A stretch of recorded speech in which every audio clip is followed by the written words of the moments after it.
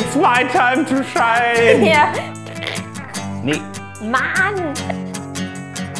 Hallo und herzlich willkommen zu Yam Tam Tam. Das hier ist Melissa und ich bin Felix. Und wir machen heute einen Victoria Sponge Cake passend zur Erdbeersaison. Ja, klingt edel, schmeckt auch edel, ist aber ganz einfach und wir legen direkt los.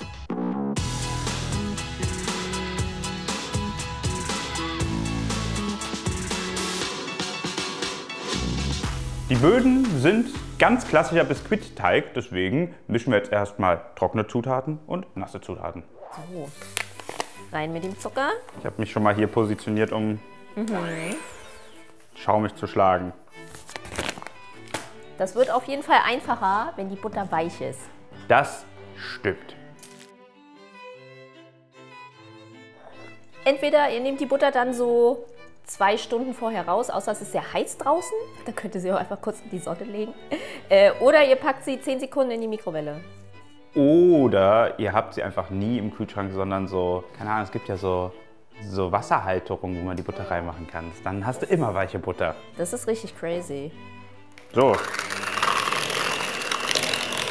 Butter und Zucker schön schaumig aufschlagen, dann löst sich auch der Zucker schon so ein bisschen in der Butter. Für alle die, die nicht wissen, was heißt Butter schaumig aufschlagen, weil manchmal gibt es ja auch diese Fragezeichen, macht einfach so lange, bis ihr keinen Bock mehr habt und dann macht noch ein Stück länger. Es kann nichts schief gehen, wenn ihr zu lange macht. Ja, eigentlich sollte es nicht mehr knirschen. Das ist es eigentlich. Ja, aber manche Leute haben schlechte Ohren, deswegen lieber ein bisschen länger drauf. 2000 years later. Ich glaube, ich kann jetzt hier mal nach und nach die Eier dazu machen. Und ich mische in der Zeit schon mal das Mehl mit dem Backpulver. Yes.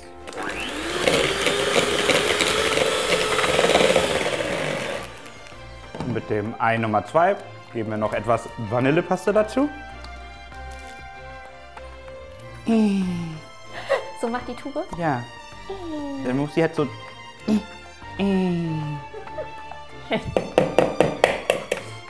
Nein!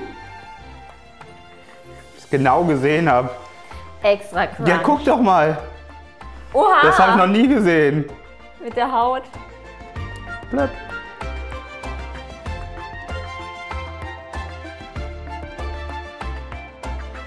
Eine Prise Salz. Yes. Dann gebe ich ihm noch mal eine Rutsche. A few moments later.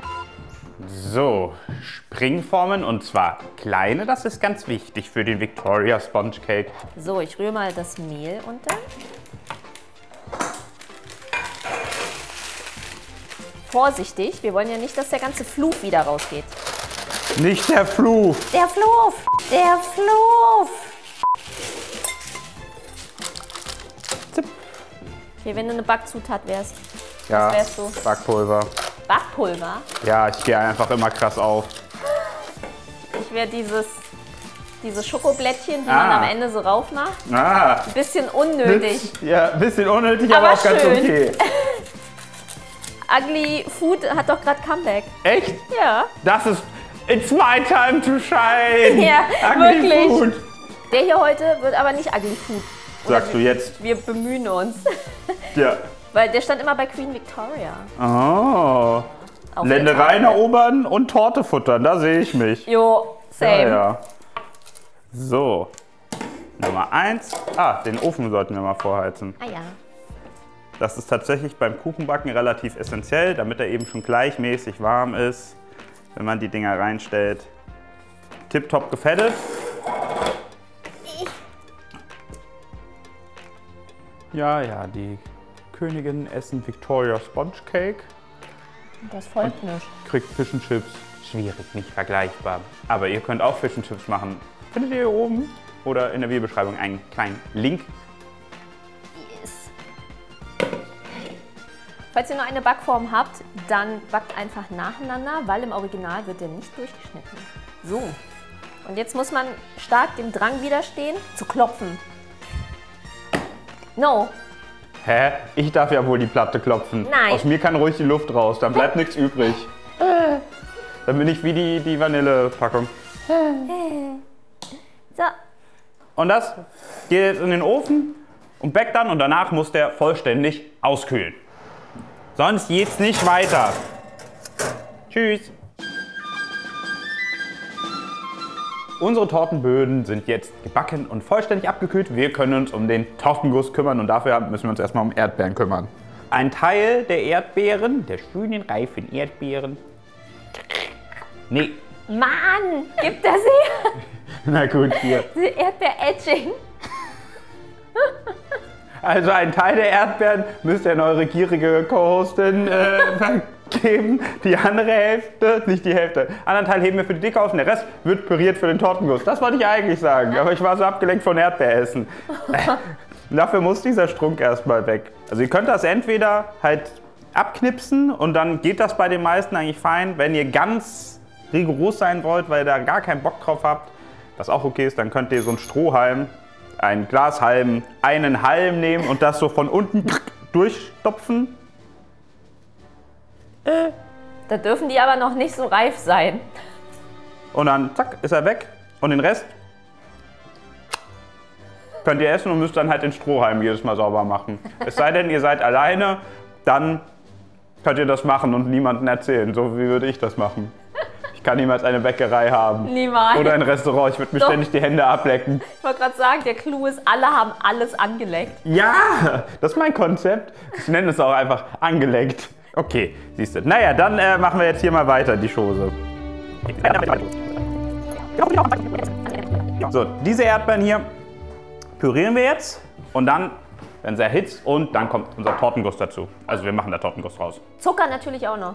Ja, Ja, dann schmecken sie nämlich endlich. Brumm, brumm. Brumm, brumm, brumm, brumm, brumm, brumm. oh, Ja.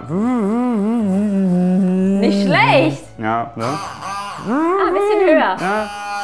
Ja, der ist halt ein bisschen schmalbrüstig so auf, auf der Arbeit. So. Das ist schon okay. Ich finde immer so geil, wenn die erst so. Als würden sie gerade so etwas reinbeißen. Ist ja auch so. Schon ein bisschen. Das stimmt. Felix, wenn du ein Küchengerät wärst, welches wärst du? Ein Standmixer mit 2 PS. Der kann pürieren, er kann Dinge klein machen und er sieht verdammt cool aus. Vielen Dank für Ihre Antwort. Danke. Immer wenn ich jetzt Erdbeeren püriert rieche, muss ich an äh, Luke denken von Nerd Factory. Liebe Grüße, der hat mir Yes. mal eine Erdbeer-Schoko Carolina Reaper Hot Sauce gemacht. Oh, Das war eine speziell. wilde Mischung, hat aber sehr gut geschmeckt auf Tacos. War, war gut, so schön fruchtig und wie so eine Mole, aber dann asozial scharf. Das hat Spaß gemacht, aber auch süß, so, war gut. Leute, sollen wir mal Hot Sauces hier machen? Oh ja, da würde ich mich sehen. Ja. Vielleicht draußen auf dem Balkon? Nein. Nein, mit Gasmaske. Ja, pff. Brauchst du eine Gasmaske zum Hot Sauce machen? Bist du schwach. da ist noch ein großer. So, dann weg damit. Und dann machen wir schon mal den Zucker rein. Gezuckerte Erdbeeren sind schon stark. Boah, ja. Auch gezuckerte Kondensmilch auf Erdbeeren, auch richtig geil. So, drauf. Das Ganze muss jetzt hier einmal kurz aufkochen und dann schmeißen wir Tortenguss dazu. Ihr könntet jetzt natürlich auch anstatt Tortenguss Gelierzucker reinschmeißen und dann hättet ihr Erdbeermarmelade. Was isst du denn von der Marmelade, gell? So, So, da kochen wir schon. Das heißt, kannst du ein bisschen runterstellen? Oder ich mach selber. So, klein bisschen runter. Und jetzt kommt der Tortenguss dazu. Und wir rühren das direkt runter. Und dann zieht das ganz fix an. das ist übrigens auch gut, wenn ihr Erdbeeren habt und die über Nacht entschieden haben, wir werden ganz traurig. Macht einfach Gelee. Das stimmt. Schmeißt sie nicht weg. Tortenguss. Nee, Schmeißt sie nicht weg. ist richtig. So, das lassen wir ganz kurz abkühlen, aber das zieht relativ fix an. Ich schneide hier schon mal ein bisschen gerade. Ich weiß, wir haben gesagt, wir schneiden nicht, aber ein bisschen. Aber das würde ich, da würde ich mich jetzt auch sehen. Schön, dass da drauf streiche und das dann so Und in dann mich so. reinmampfen. Oh, ich habe mir ein kleines Pausenbrot mitgenommen. Kleine Wegzehrung, so anstrengend heute wieder. Jam, jam, jam. Für Buttercreme brauchen wir. Margarine. Bitte nicht. Hey, sag nichts gegen die Margarine. Wir brauchen Butter. Wir brauchen Butter. Und dazu kommt Puderzucker. Und damit es nicht nur nach süßer Butter schmeckt, kommt wieder ein bisschen Vanillepaste rein. Der freundliche Backhelfer. Immer da, wird nicht schlecht, immer Vanille. Ist so. Beste. So, und jetzt rühren wir das. So, ein Schluck Sahne kommt noch dazu. Jetzt mega Sauerei. Das wäre so lustig. Ich so. Nee, geht. Ich kann das. Tipptopp. Es wurde gebuttercremt. Das kommt jetzt nur auf einen Boden.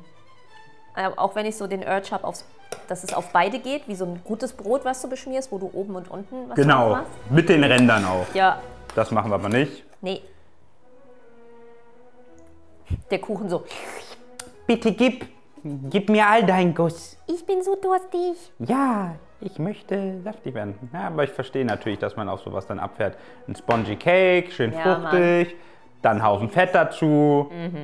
Das kann nur gut werden. Ja, Dazu ein schöner Breakfast Tea. ja. Das hier muss jetzt komplett auskühlen. Ih, langweilig. Ja. In der Zeit könnt ihr TikTok gucken bei uns. So einfach könnt ihr Orangen schälen. Ich teste für euch eingelegte Sachen und ich fange an mit dem Selleriesalat. Riecht stark. Diese beiden Hacks erleichtern euch das Leben. Ihr wollt Nudeln abgießen, habt Die Buttercreme ist jetzt hier im Spritzbeutel und das kommt jetzt hier einfach drauf. Genau, der Tortenguss ist vollständig abgekühlt. Wäre das nämlich nicht so und dennoch warm, dann würde die Buttercreme einfach zerfließen. Das wollen wir nicht. Kann auch gut schmecken, ist aber nicht Sinn und Zweck. Das sieht aus wie eine schöne weiße Rose. Oder? So geht auch schon. Ja. Wenn ihr mehr Gäste habt, macht einfach beides aufgeklappt. Ja, oder so wie ich einfach keine Geduld habe, noch einen zweiten Boden zu backen, aber keine zweite Form. So geht auch. Genau, und wir drehen den Boden natürlich um, damit die glatte Seite oben ist. Und jetzt Ja. kommt ordentlich Puderzucker drauf. Bitte schön, viel Spaß. Was ist denn Ja, heute? gib ihm. Wir haben auch das kleinste Sieb EU West geholt. Okay. Ja, das ist ordentlich Puderzucker. Und dann Jetzt kommt gleich der schönste Moment. Das, was man so mühevoll aufgebaut hat, wieder kaputt machen. Yes. Nice. Tete. Der sieht jetzt sehr royal aus, aber er war unglaublich einfach und wird aber trotzdem königlich munden.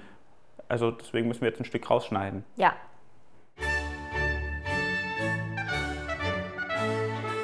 Ihr seht schon, ein schönes Stück kam raus. Jetzt kommt noch ein zweites und dann wird geschmaust. Ich finde, der sieht so richtig wie so ein Klischeekuchen aus so einem Game oder so aus. Ja, ja, voll. Wie man Kuchen malen würde. Ja, oder auch so ein Anime oder sowas. Ja, genau. So. Möchtest du noch ein Stück Kuchen zu deinem Tee? Ja. Ja, also kann ich verstehen, dass der natürlich auf einer königlichen Tafel viel Eindruck macht. So, macht er auch Eindruck im Mund? Das ist natürlich hier die Preisfrage. Lustig. Ich finde, er gibt klassischen Erdbeerkuchen. So oben drauf.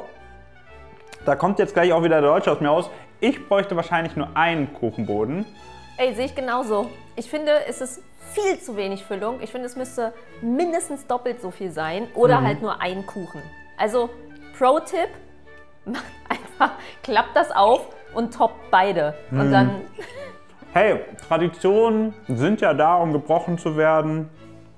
Aber jetzt habt ihr erstmal die Baseline, um euch auch einen Victoria Sponge Cake zu machen. yes, Oder ihr macht einen Melissa Sponge Cake draußen mit doppelt so viel Füllung. so sieht's aus. Schreibt gern unten in die Kommentare, falls ihr euch noch irgendeinen bestimmten Kuchen wünscht, den wir hier noch nicht gemacht haben. Und ansonsten vergesst nicht zu abonnieren, Daumen nach oben und wir sehen uns auf TikTok. Tschüss. Tschüss!